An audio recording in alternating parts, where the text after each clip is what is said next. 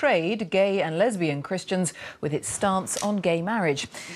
As its ruling body debates the issue, members of the General Synod will vote on a bishop's report which says only a man and a woman should marry in church and services shouldn't be held to bless the relationship of a same sex couple. Our religious affairs correspondent Martin Bashir has more.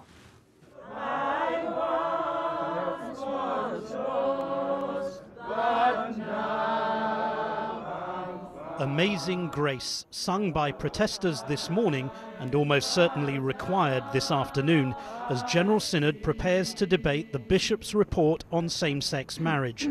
A report that says marriage in church should remain the lifelong union between a man and a woman. After engaging in three years of shared conversations, many lesbian and gay Christians are angered that church doctrine is not falling into line with the law of the land which legalised same sex marriage in 2014. We're talking here about the national church being massively out of step with people. And this isn't just about saying that we have to follow what society is, is, is, doing and what society is saying. This is about saying, actually, where people perceive love in relationships between one another, can the Church of England simply not recognise that God is present in those things?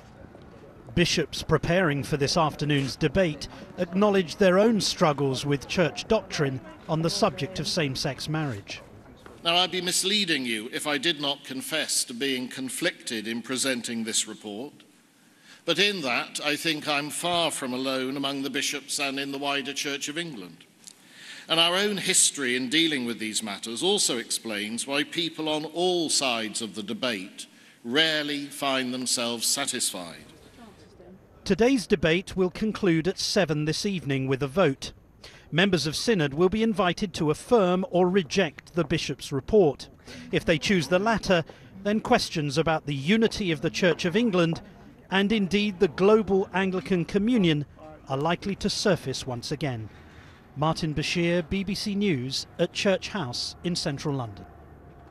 Well, that debate is continuing at the moment. Our correspondent Lisa Hampele is at Church House, and I just wonder what sense, what sort of mood you've been picking up on from people who've been attending that today, and indeed perhaps some of the protesters.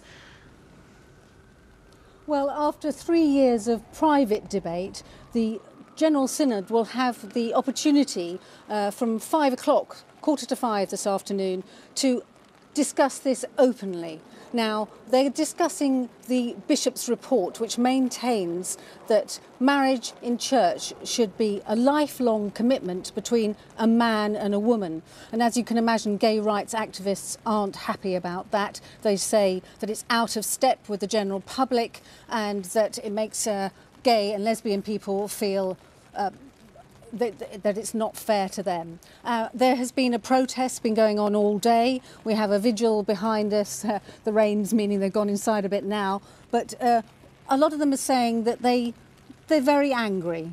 They, they think that, that this should be looked at again. And what we're hearing, as we've heard from the Bishop of Norwich who presented this report, and he said he's struggling with this. Uh, and he says that he's conflicted, and he said that he doesn't think that anyone really will be particularly happy with the outcome. Now, how this is going to work is there are three different votes. There's the laity, the bishops and the clergy. Now they all have to have a majority, each one of those groups, for this to be affirmed. And now we're hearing that it's very tight and if this isn't affirmed then it will be kicked into the long grass. In fact, you can't come back with this report they'll have to start again. So we're going to wait till we've got the vote at seven o'clock. But the other problem here is the unity of the Church of England. So we have two sides to this debate and we have a very polite big protest here. Oh,